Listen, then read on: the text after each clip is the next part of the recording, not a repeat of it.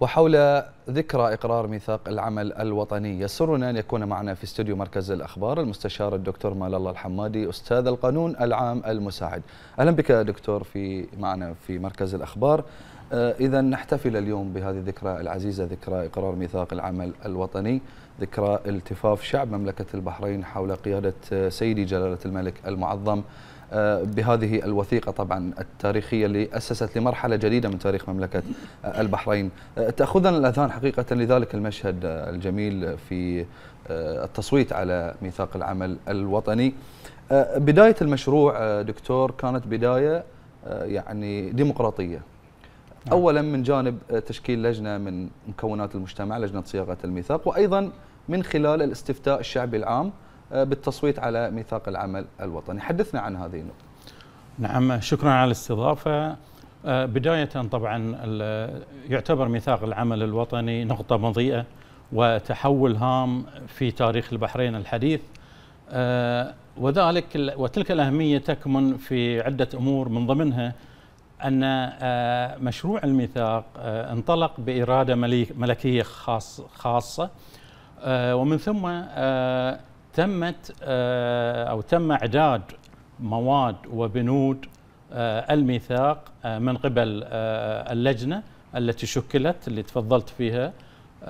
وهذه هذه اللجنة طبعا شكلت نخب من مختلف التخصصات من مجتمع البحرين. فبالتالي ساهم الشعب البحريني في صياغة أيضا موضوع أو صياغة بنود الميثاق. هذا جانب.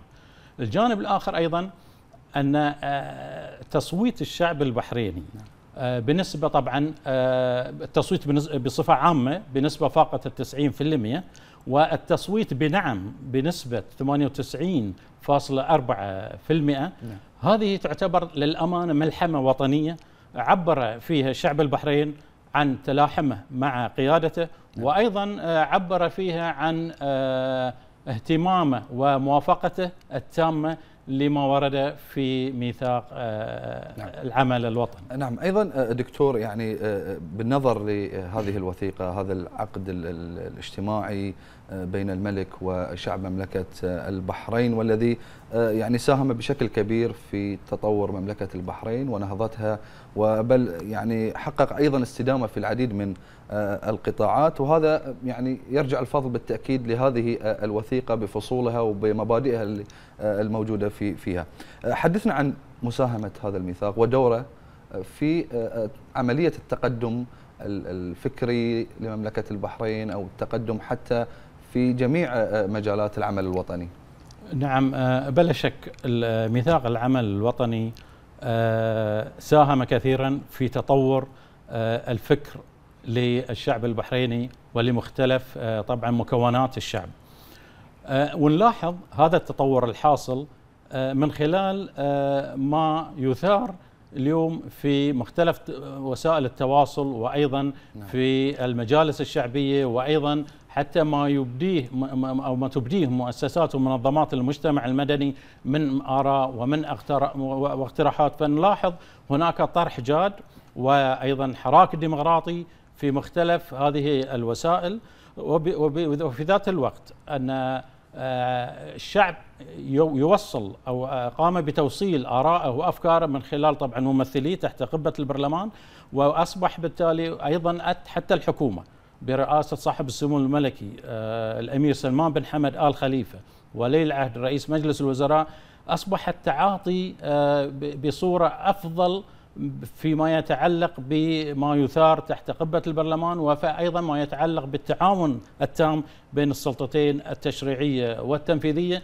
وأيضا ما قرره الميثاق من آه، استلزام إنشاء المؤسسات الدستورية المختلفة آه، على سبيل المثال آه، المحكمة الدستورية والمجلس الأعلى للقضاء والمؤسسة الوطنية لحقوق الإنسان وأيضا ديوان الرغابة المالية والإدارية. كل هذه المؤسسات آه، الدستورية التي أنشأت آه، تتطلب بطبيعة الحال آه، تعامل من قبل الشعب وتطول وتتطلب نعم. أيضا تفكير وتتطلب أيضا استفادة معينة واستفادة خاصة مما وفره الميثاق. فللأمانة للميثاق دور كبير نعم. في تنمية الفكر للشعب البحريني بمختلف مك- مكوناته نعم. وها نحن نجني طبعا ثمار هذا. الميثاق في ونحيي هذه المناسبات السعيدة. بالتأكيد نحييها يعني ونحن يعني متأكدين بأن هذه بهذا الميثاق هو سيبقى دائما حجر الأساس والمحور الأساسي للتقدم وبناء المستقبل كذلك. شكرا لك. المستشار الدكتور مال الله الحمادي أستاذ القانون العام المساعد شكرا على تواجدك معنا شكرا شكرا لك. شكرا على الاستضافة.